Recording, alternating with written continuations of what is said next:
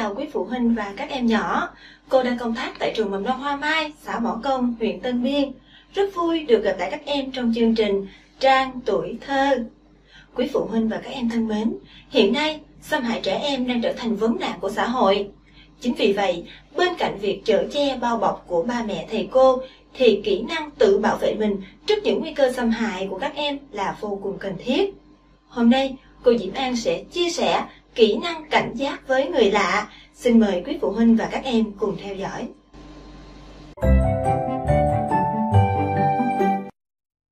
Ngày nay, với sự phát triển không ngừng của xã hội, thì kỹ năng sống của trẻ cần được chú ý và quan tâm.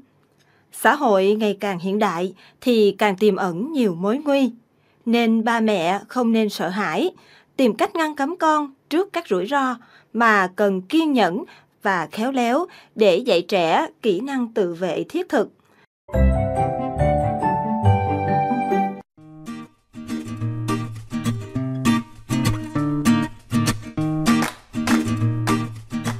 Khi đến công viên hoặc những nơi công cộng, các con tuyệt đối không được nhận bánh kẹo từ người lạ để đề phòng bánh kẹo có tẩm thuốc mê. Khi các con chạm vào hoặc ăn phải thì sẽ tạo điều kiện thuận lợi cho kẻ xấu xâm hại.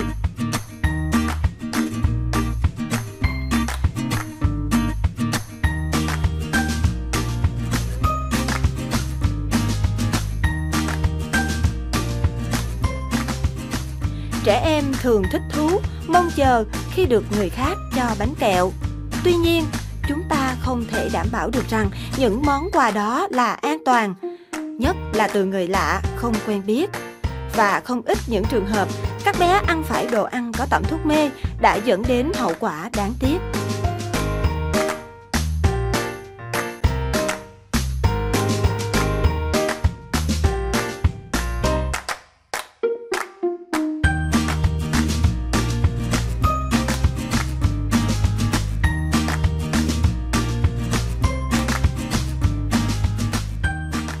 Trong trường hợp có người lạ cho bánh kẹo thì các con tìm đến chỗ có người lớn hoặc chú bảo vệ để tránh kẻ xấu tiếp tục bám theo, dụ dỗ.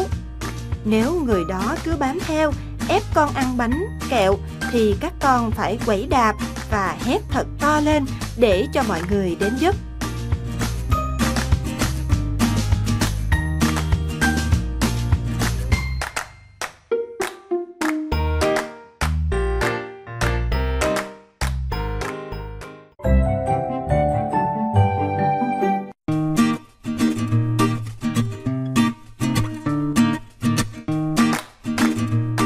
Trong trường hợp có người lạ đến tiếp cận các con, tự nhận là người thân, bạn bè của ba mẹ. Họ biết rõ tên, địa chỉ, số điện thoại của ba mẹ, thậm chí là khi con nhận ra họ là người hàng xóm của mình thì các con cũng tuyệt đối không đi theo. Các con phải báo ngay cho ba mẹ, người lớn trong nhà để xác nhận xem lời họ nói có đúng hay không. Trường hợp có người lạ mặt thậm chí là người quen đến nhà, gọi đúng tên con, cho con quà cáp, đồ chơi thì các con cũng không được nhận. Mặc dù người đó có giải thích về mối quan hệ với ba mẹ như ông, bà, cô dì, chú bác, họ hàng của ba mẹ, thì các con cũng không được tự ý nhận quà khi chưa có sự đồng ý của ba mẹ.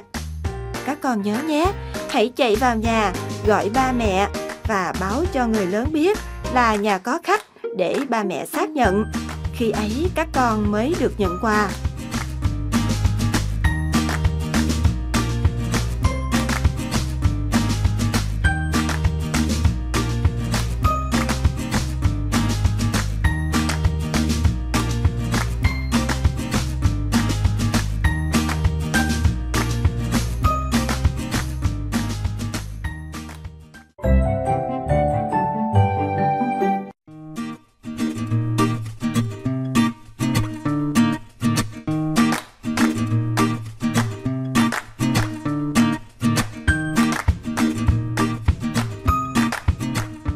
Trường hợp các con thấy có người lạ rình rập, dòm ngó vào nhà mình, cố tình tiếp cận, tự ý mở cổng, mời gọi các con ra cổng, thì các con tuyệt đối không được ra. Các con không được lại gần họ mà phải chạy vào nhà gọi ba, mẹ, người thân. Các con gọi ba mẹ thật to để thông báo. Đồng thời làm cho kẻ xấu hoảng hốt mà bỏ đi.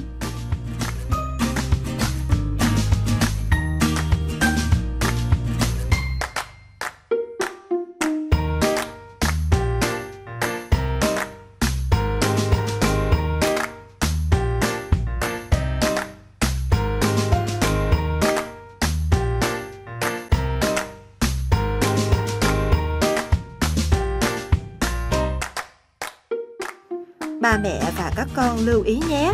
Phải đóng cổng và khóa cổng cẩn thận, tránh trường hợp kẻ xấu tự mở cổng vào nhà, thực hiện hành vi xâm hại với các con.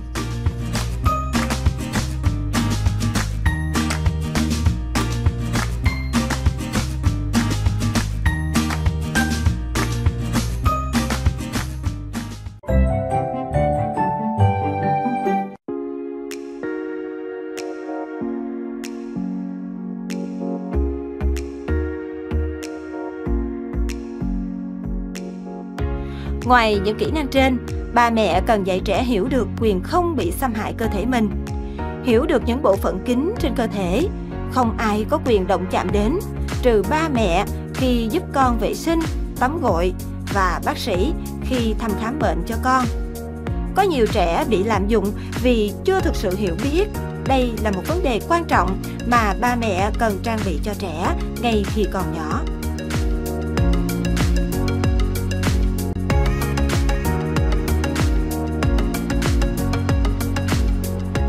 Để rèn luyện kỹ năng cho trẻ, hàng ngày ba mẹ hãy cùng con chơi những trò chơi tình huống, đóng vai. Ba mẹ hãy đố con nên nói gì, làm gì? Khi rơi vào những trường hợp khó khăn như lúc lạc đường, khi bị người lạ rủ đi chơi, cho quà bánh, khi con ở nhà một mình hoặc khi có sự cố xảy ra ba mẹ đều có thể biến những câu chuyện, những tai nạn nhìn thấy, nghe thấy trên các phương tiện truyền thông thành bài học chia sẻ với con, giúp con hiểu trong tình huống đó con nên làm gì, vì sao bạn nhỏ lại bị như thế. Bên cạnh đó, ba mẹ cũng cần dạy trẻ cách cư xử lịch sự và giữ khoảng cách với một số nhóm đối tượng khác nhau Mỗi nhóm đối tượng, ba mẹ cần giải thích và phân biệt kỹ lưỡng từng nhóm người với mức tiếp xúc khác nhau. Đây là một trong những điều quan trọng trong việc dạy trẻ kỹ năng sống không đi theo người lạ.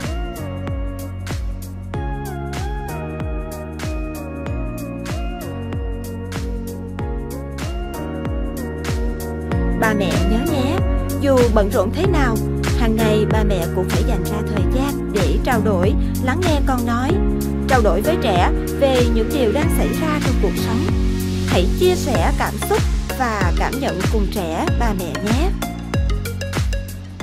Quý phụ huynh thân mến, dạy trẻ kỹ năng cảnh giác với người lạ là vô cùng quan trọng. Khi trong cuộc sống hiện đại luôn tiềm ẩn nhiều mối nguy, mà đặc biệt nghiêm trọng là vấn nạn bắt cóc và lạm dụng trẻ em vẫn liên tục xảy ra và để lại hậu quả đáng tiếc cho nhiều gia đình. Vì vậy, các bậc phụ huynh nên đề cao cảnh giác và dạy trẻ những kỹ năng tự bảo vệ bản thân mình ngay từ hôm nay. Cô Diễm An xin cảm ơn quý phụ huynh và các em đã quan tâm theo dõi. Còn bây giờ, xin chào và hẹn gặp lại.